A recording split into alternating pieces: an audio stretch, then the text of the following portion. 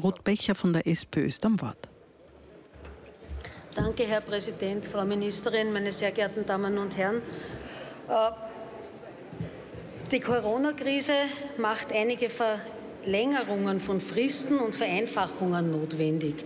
Beispielsweise Videoübertragungen zur Beweisaufnahme bei Gericht, äh, äh, erweiterte Fristen beim Insolvenzverfahren oder auch erleichterte Identitätsfeststellung bei Notaren bei der Gründung einer GmbH.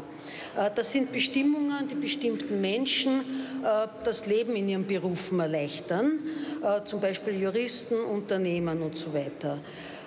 Diese Bestimmungen werden überwiegend bis Ende Juni verlängert. Es gibt aber auch Menschen, auf die bei dieser großzügigen Verlängerung der Fristen vergessen wurde.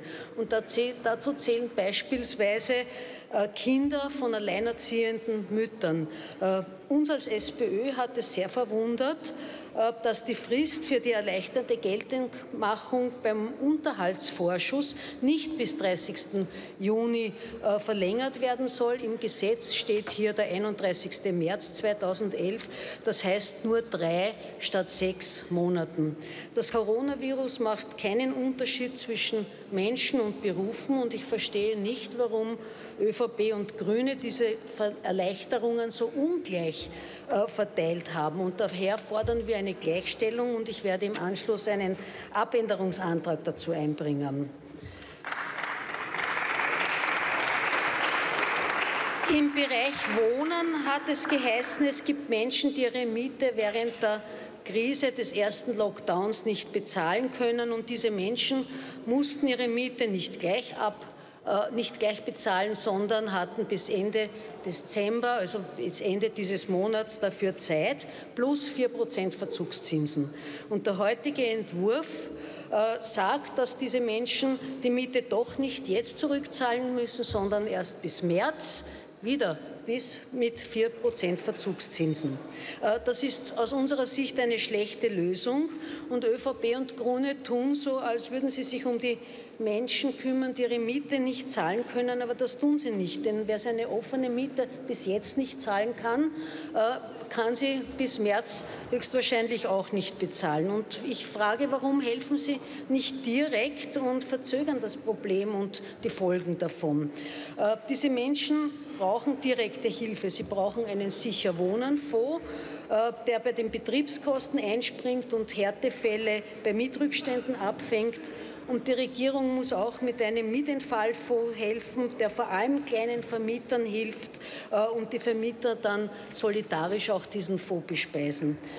Äh, warum die Regierung beim Thema Wohnen leider noch nichts bis jetzt gemacht hat an einer sinnvollen Lösung, äh, wird sie das bis Ende März auch nicht zustande bringen und hätte mehr Zeit bis Ende Juni äh, darüber nachzudenken und es zu schaffen. Und daher bringe ich auch hier einen Abänderungsantrag ein.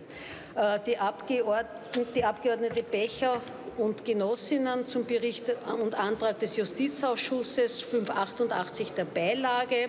Äh, der Nationalrat wolle in zweiter Lesung beschließen.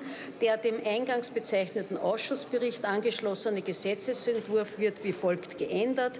Im Artikel 3 Ziffer 1 wird das Datum 31. März 2021 durch das Datum 30. Juni 2021 ersetzt und den Abänderungsantrag in Bezug auf die erleichterte Geltungmachung von Unterhaltsvorschüssen, ich habe das zuerst erläutert, äh, ist von der Magister Selma Jildering, Genossinnen und Genossen, zum Bericht des Justizausschusses über den Antrag 895a, 587 der Beilage.